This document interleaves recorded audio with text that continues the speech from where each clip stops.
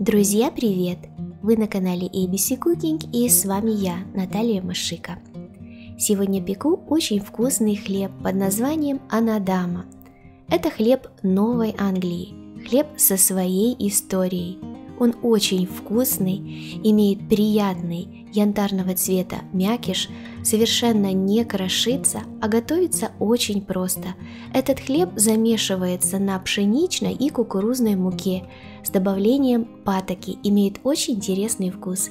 Приступаем.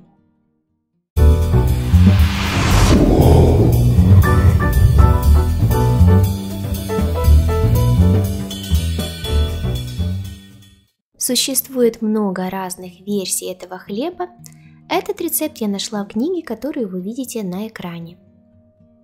Тесто я буду замешивать с помощью тестомеса, но это можно сделать и руками. Первым делом просеиваю муку общего назначения или можно взять высшего сорта. Также добавляю кукурузную муку, она у меня среднего помола, соль и сухие растворимые дрожжи. Все перемешиваю. Для этого хлеба не подойдет кукурузная мука грубого помола.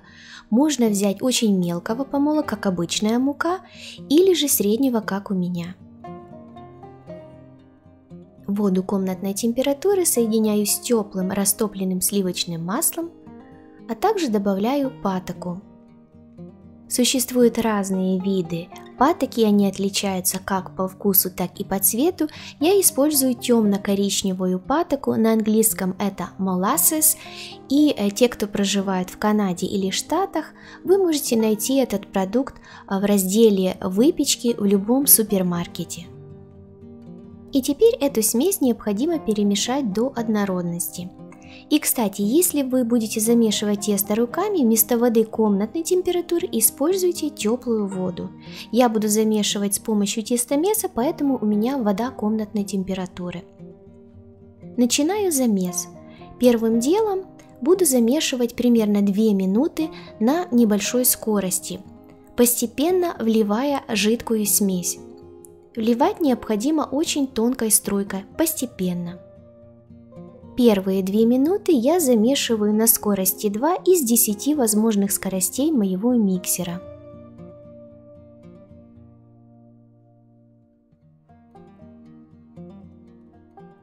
Те, кто будет замешивать тесто руками, вам будет казаться, что тесто очень липкое и замесить хорошее эластичное тесто почти невозможно.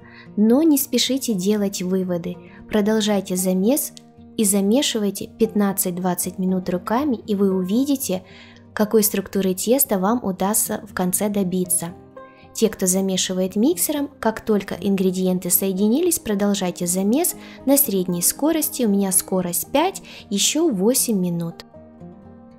Если вы погуглите, то вы увидите, что рецептов хлеба анадама есть очень много, и разные пекари предлагают свой вариант – в этом же варианте, на мой взгляд, хлеб получается просто идеальным. Посмотрите, друзья, каким должно быть тесто. Оно эластичное, приятное, очень мягкое. Руки я смазала растительным маслом и э, теперь тесто необходимо в течение 30 секунд немного вымешивать руками, делая шар. Это можно сделать на доске, припыленной мукой, либо вот так вот просто руками, как делаю это я. По истечению 30 секунд тесто кладу в миску, которую я смазала растительным маслом, накрываю пищевой пленкой и оставлю в теплом месте для подъема на 1,5-2 часа. Все зависит от температуры в вашем доме. Подготовлю форму. У меня форма 23 на 13 и на 7 сантиметров. Это форма для кекса. Конечно, лучше брать форму для хлеба, особенно для кирпичного хлеба. Форму я сбрызнула растительным маслом и теперь добавляю немного кукурузной муки и распределяю ее по форме, как по дну формы, так и по бокам. Прошло 2 часа и посмотрите, друзья, как выглядит мое тесто. Оно хорошо поднялось. Возможно, вам понадобится всего полтора часа. Все зависит, какая температура в вашем доме. Рабочую поверхность я слегка припылила мукой и теперь рукой нажимаю на тесто, чтобы вышел углекислый газ. Вот так. Тесто кладу на рабочую поверхность и теперь слегка обминаю. Из теста необходимо сделать прямоугольник – Длина прямоугольника должна быть как длина вашей формы.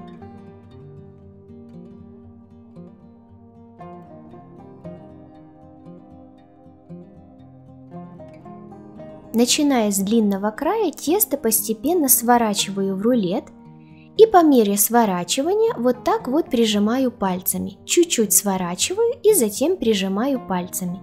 И так продолжаю делать до самого конца, а в конце хорошо защипываю шов.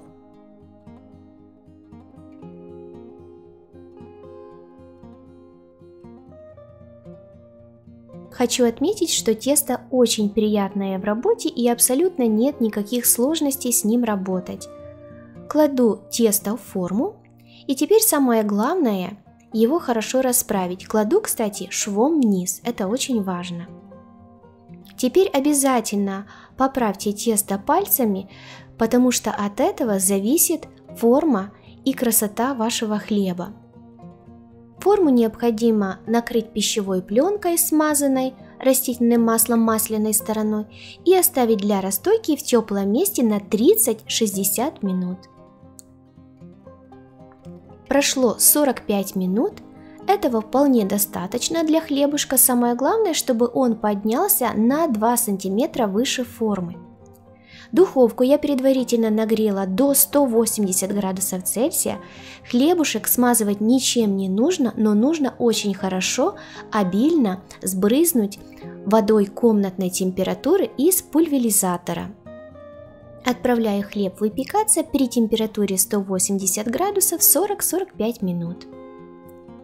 Мой хлебушек готов, выпекался он у меня 43 минуты. Теперь дам ему остыть в форме 15 минут – а затем можно вынуть из формы.